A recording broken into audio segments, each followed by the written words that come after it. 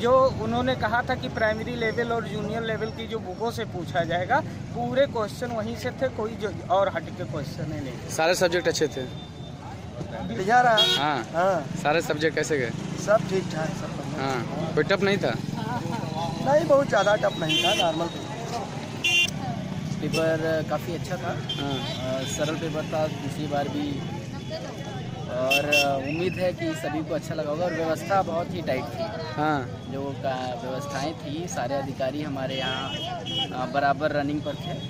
किसी प्रकार की अव्यवस्था कुछ आपको बिल्कुल कोई व्यवस्था नहीं थी और सारी व्यवस्थाएँ कॉलेज की भी अच्छी थी और स्टूडेंट्स ने भी काफ़ी सहयोग दिया शांति बनाए रखी और हमारे यहाँ के सीडीओ सर और एसडीएम सर बराबर क्लास में राउंड पे थे।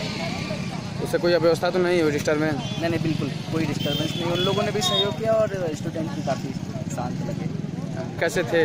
स्तर क्या था सब पेपर में? सभी विषय का स्तर पिछले बार की अपेक्षा थोड़ा हार्ड था मेरे हिसाब से।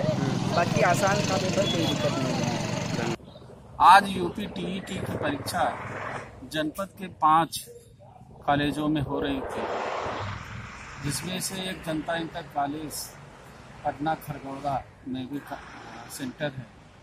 उस सेंटर पर एक महिला ललिता जो लेखपाल भी है, परशुरामपुर गाँव में, परशुरामपुर थाना भिनगा में, अपने ननद तथा कथित ननद, जो साधना नाम है उस ननद का, साधना के स्थान पर बैठ करके एग्ज़ाम देते हुए पकड़ी गई इस पर इनको एग्ज़ाम देते हुए पकड़ा गया मजिस्ट्रेट द्वारा और वहाँ से एक तहरीर मिली है। थाने पर अभियोग पंजीकृत किया जा रहा है। अभियोग पंजीकृत करने के बाद जो भी विधिक कार्रवाई होगी अमल में लाई जाएगी।